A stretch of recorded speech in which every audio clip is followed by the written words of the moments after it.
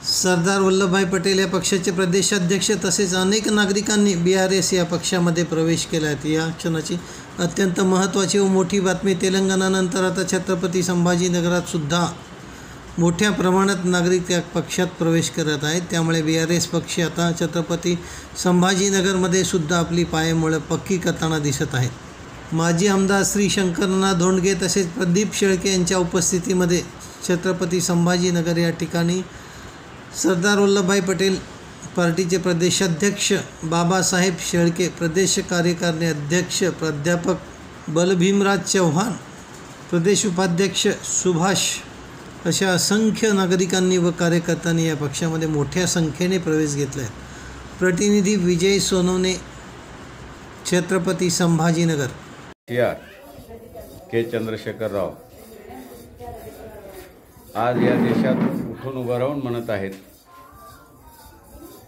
की आपकी बार किसान सरकार.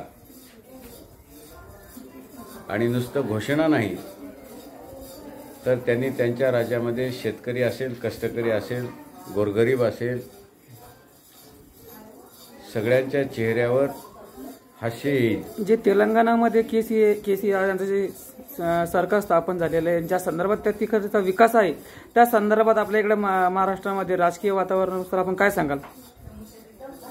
ते जसंच्या तसं तेलंगणा मॉडेल आपल्या राज्यात लागू झालं पाहिजे ही आमची मागणी आहे.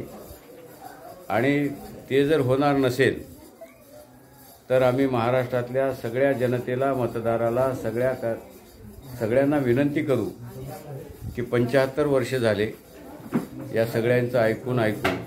आज श्री बाळासाहेब शेळके बाबासाहेब शिर्के. बा- बाबासाहेब पटेल पार्टीचे सर्व नेते आज बाबासाहेब शेळके पाटील यांच्या इथं उपस्थित आहेत.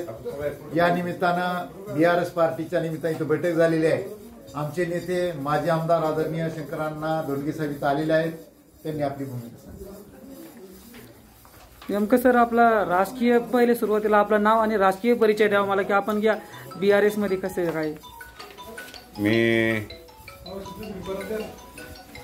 माझ्या आयुष्याची सुरुवात शेतकऱ्याच्या न्याय हक्काच्या लढाईची म्हणजे शेतकरी संघटना जी शरद जोशींची होती त्या संघटनेचा मी दहा वर्ष राज्याचा अध्यक्ष होतो. नंतरच्या काळात त्या चळवळीला थोडे क्षीण दिवस आल्यानंतर मधल्या काळामध्ये